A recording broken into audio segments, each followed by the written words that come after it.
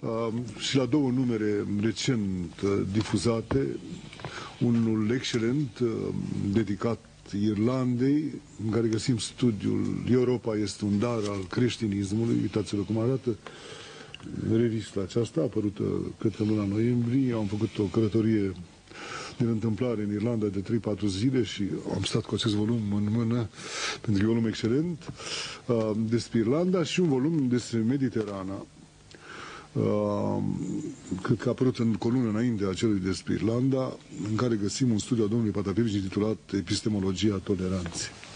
Nu am la mine un euforiu, în care domnia sa publică un studiu intitulat Între demonul Famparon și Barbarul de seră, un studiu dedicat lui um, Cioran.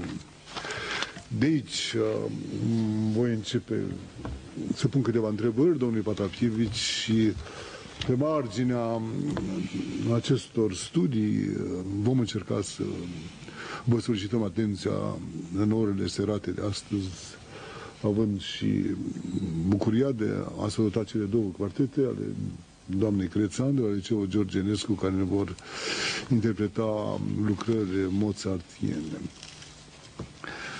Știți cu ce să începe, domnule Patapievici? Mă uit la revistele astea, care sunt atât de mult pentru noi, nu în anii de înainte de 1989. Înfigurați, căutam într-o librărie în secolul 20, acum stau pe rafturi luni în șir și nimeni nu le cumpără. Și prețul e cam piperat, dar... Prețul nu e piperat, costă 5.000 de lei exemplarul. Ăsta da. nu e un preț piperat. Nu e un preț piperat. 1.000 de lei aproape costă un ziar. Da, am raportul ăsta, dar în raport cu ce ce oameni la dispoziție și intelectuale la ora asta la dispoziție, e greu și 5.000 de lei să scoți până la urmă, nu? Am, jurnalul Sebastian costă 25 de mii, o carte care a apărut de Madrigal, m-am uitat și eu îngrozit, acum câteva zile costă 55 de mii de lei, o carte de documente, a apărut o editură, o editură de stat, cred, pedagogică și didactică. Oamenii nu au bani de cărți și este un lucru grav, așa, pentru noi. Nu că nu au bani de cărți, în general nu au bani să ducă un trai decent. Normal cartea face parte din decența vieții. Da, clar. Mai ales pentru un universitar care are maxim o pensie de 250 de mii sau un profesor care activează acum și care nu poate câștiga decât 500 de mii de lei. E greu și 5 mii de lei pentru ei. Nu vorbesc de tineri și de, de studenți. De ce nu mai are reverberație secolul 20? În primul rând pentru că am devenit foarte săraci, nu toți, dar majoritatea. În al doilea rând pentru că s-a produs o mutație Uh, culturală importantă, odată cu trecerea cezurii lui decembrie 89. Și în al treilea rând, pentru că s-a schimbat structura pieței de carte.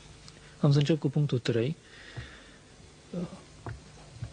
Foarte multe din uh, titlurile și din autorii sau din tematicile care făceau deliciul secolului 20, astfel încât se spunea este secolul cu Kierkegaard sau este secolul cu Eliade. Și atunci te duceai la, la stand, acolo neapărat trebuia să ai o relație și puteai să, să, să îți procuri numărul din care ce sperai în fond? Să capeți o inițiere interzisă altminteri și prin surse la care nu aveai acces, la acest lucru extraordinar, suit pe un piedestal care, la care interdicția contribuia de o manieră majoră, care se chema interioritatea lui Kierkegaard, uh, cazul uh, istoricului religiilor, Eliade și așa mai departe.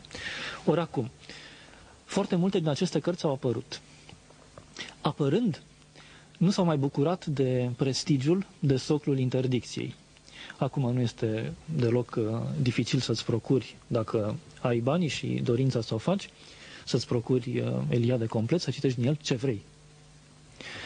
Ori uh, această schimbare a structurii pieței cărții a avut o, o, o influență foarte importantă și ea va determina în continuare pentru secolul 20 necesitatea revizuirii sumarului, ca să spun așa. Pentru că ea nu mai țintește să satisfacă acest tip de curiozitate culturală. Uh, în, uh, la, la primul punct n-am de spus decât uh, până nu o să trăim mai decent, situația cărții va fi gravă și ne vom putea lamenta oricât, că tinerii nu au bani să-și cumpere, că publicul căruia se adresează cărțile, publicul intelectual și care se forma din profesori, din uh, oamenii care lucrează în uh, profesiile liberale și așa mai departe, nu au, pentru că ei sunt o țintă defavorizată, întrucât țin de buget și atunci fatalmente sunt defavorizați, când trăim într-un stat al uh, risipirii resurselor, al favorizării clienților sau mai mulților industriali și firește a relegării la coada interesului, a culturii, a, a sănătății, a învățământului și, fatalmente, a bugetarilor cu preocupări intelectuale. Uh, aș, aș mai adăuga la, la mutația care s-a produs faptul că uh, raportul omului de cultură față de produsul cultural s-a schimbat. În, uh, într-un regim de interdicție a vieții intelectuale sau de regulare a vieții intelectuale prin uh, intermediul unei ideologii strâmte, cultura este inevitabil asimilată unui proiect subversiv și care are ca conotație uh, etapele inițiatice care bună oară există în, în orice religie traducerea culturii în termen de atașament ca și religios față de ea este un fenomen tipic acestei, acestei interdicții sociale. Ori ea nu mai există astăzi. Raportul oricărui om de cultură față de cultură s-a schimbat. Acum, uh, raportul este mult mai desacralizat. Este un fapt asupra căruia nu avem a ne plânge, pentru că este firesc, avem de preferat fie interdicția dinainte pentru a valoriza sursele interzise, fie a, cu realism a accepta că da, în condiții de abundență de ofertă culturală, neapărat că prestigiul actului cultural va scădea.